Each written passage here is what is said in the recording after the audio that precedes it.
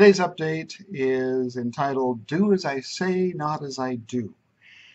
Um, when you're doing science, you want to be accurate, you want to be careful, you want to be able to repeat things, you want to be able to understand why something is working the way it's working. One of the crucial ways that helps you do that is to change one thing at a time. Just one little thing. You, you have a, a condition. Sometimes you repeat it just so you can make sure that you can repeat everything that went into that condition.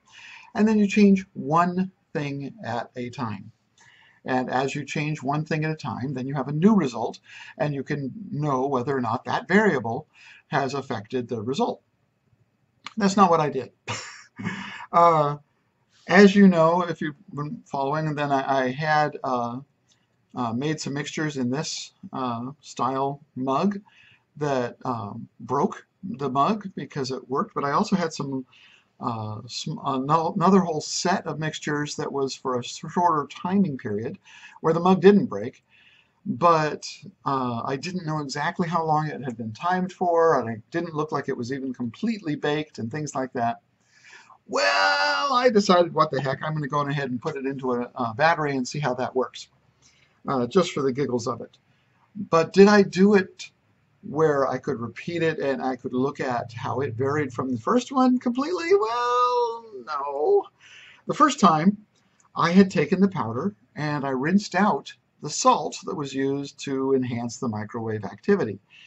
Uh, did that by putting it into a coffee pot, a coffee maker, and pouring in 12 cups of uh, distilled water and then cutting, uh, then letting that go through the, the filter and drying the resulting powder and making that into the battery.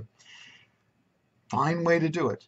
And then I put it in an open air, uh, just a, a, a, a, set of things and uh, pushed it together and, and started testing it. I got my first good results. So that was really cool. So I wanted to see how this how this powder would work and unfortunately, I changed a couple other things at the same time, so I'm not certain. Uh, the other things I changed at the same time is I skipped the rinse phase uh, to get the salt out of the carbon mixture. Uh, earlier tests I had done when my batteries weren't working so well, that's the key, uh, seemed to say that it didn't matter whether you rinse the, the salt out, that if anything it helped. So uh, I left the salt in. It also saved me that time of the salt of the uh, filter and dry step. And then I also made a uh, clumsy package for the beast. I, I, took some of this tape, big hunkin' tape, uh, took some of this tape and I packaged it so that it wouldn't dry out. So I changed the time. I don't know exactly how much. Oops. I changed the packaging. Probably That probably didn't affect much. And I changed whether or not the salt was mixed. So now I have more things to go back and test and find out. What happened is I ended up with a battery. Here it is, ugly looking battery. Um, if you look close, you can see that there was some leakage of the material from the inside, uh, but not much. And it's still wet. It's still working today, and this was a couple days ago. Um, and so the good battery I had, the run, the, my best run was 9 minutes 17 seconds. This guy, uh, my first run was 3 minutes 16 seconds. Second run was right about 4 minutes, 3 minutes 58 seconds. Um, the let it rest overnight or sit overnight, and that run after that was 4 minutes and 1 second. Then it sat for a whole weekend, after the weekend, I tried uh, a one-minute charge, which I hadn't tried. Up until now, I've been using a five-minute charge. But it looks like almost all the current is done during that first minute. And sure enough, I got a 2-minute and 54-second run. So I actually got a run that was about three times longer than the charging time, which was kind of exciting and fun. And then the last one, I, I did one more 5-minute charge, and I got a 4 minutes 13 seconds off of this guy. So this guy is it's holding up. It's consistent, so it probably is keeping most of the electrolyte inside the battery, which is good. But this thing was a pain to work with. It was horrible. because it is so thin. And so it was hard to cut, it was hard to use, it was hard to uh, deal with. And I don't want to deal with that. So I have come up with a new method for packaging. And I'm going to try that, and I'm build one right now in front of you, and we'll see how it works. But let me reiterate one last, one more time. Do as I say, not as I do. When you're doing good, rigorous science, change one thing at a time. Don't change three things at a time because now I'm not sure how much was the difference because the salt, how much was the difference because the timing, was there any difference due to the packaging? Don't know. I'll be investigating and finding out. So let's build a battery using my new, new method. Uh, it, now this is an example battery. I haven't actually done this method before. I want to see if it's going to be possible to put it together. And paper is cheaper than Graphoil, and I don't have any more of the uh, any more of the um, powder to use. I'm going to have to make a fresh batch. So I've I've taken taken some paper paper. I've put some uh, of the tape on one side and just colored in the other side to represent. Here would be where my carbon would be. Here would be the, just the Graphoil. This piece of paper represents the separator between the two. So let's see how this will work. And I'm thinking it's going to work out pretty good, but I haven't built it yet. So these are, these strips are, um, the, the tape is 48 millimeters wide. I don't know why that exact number, but it is. And these strips are 100 millimeters long. This is just a little bit bigger to make sure that it keeps everything from shorting out. This is 54 uh, by 54 millimeters. And my 3D printed stiffening plates are 50 by 50. So 50 by 50 is just a little bit bigger than the 48 by 48 active area. And so it should, it's not so much bigger that I can't get a good, good clamp, but I should be able to get a good clamp, make sure it's all the way out to the edges, even if I'm off by a millimeter or so. And uh, so hopefully this should all work. So what I'll do is I'll start by taking a uh, about a 100 millimeter or 4 inch strip of tape. That's a little long actually. Okay, and I'll put that down there.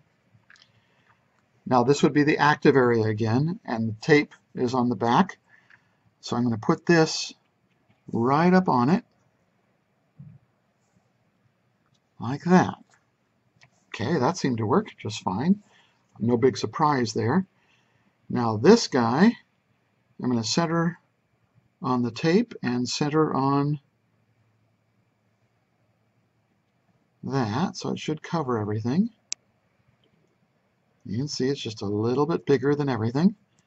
Okay, so that's where the that's where the separator would go. This guy I'm going to put lay down on top of that. And this is I just lay it in because there is no other sticky part of the tape to do, but I'm, I'm doing it what would be the active side down.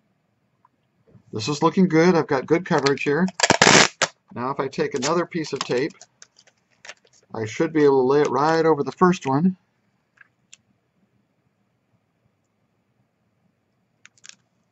There we go. So now I've got good sealing probably along this edge. That should be good, but th these edges don't have good sealing. But if I take two more sets of tape, and I go like there, halfway in.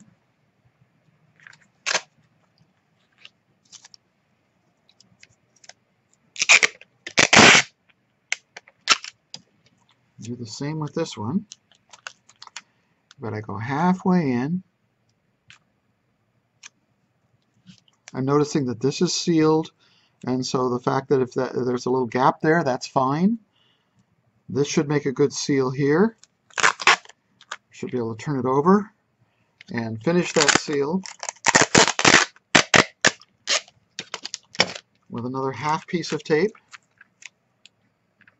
like that. This tape is cheap, readily available.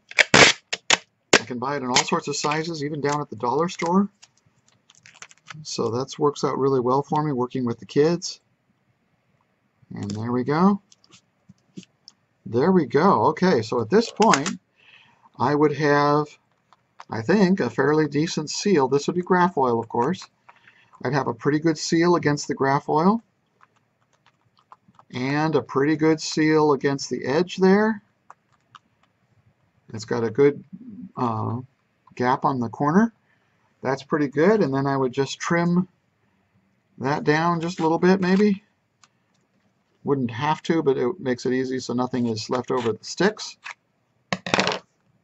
There we go. That's going to be my new battery uh, method. I'm going to try this method for the next battery because I think that's good. It'll keep it sealed and then I can put these plates there's the kind of an equivalent plate I, I can put those plates top and bottom and clamp them on and have a nice clamped battery that should stay good for a while. Anyway, so do as I say, not as I do, and have a fantastic day. Bye for now. I've been watching too many videos by Kev. Here I am with one last thing. I noticed that there was a little area right here where the tapes, right there, it was square, where the, the, the two tapes weren't exactly the same length, and so there was a sticky part. So I just took a piece of, uh, I took some scissors and I just angled off. So I end up with more of a, almost a octagonal, but a, a strange one, uh, shape to the, the final thing. By trimming off those four corners, I avoid any part where the tape is sticky.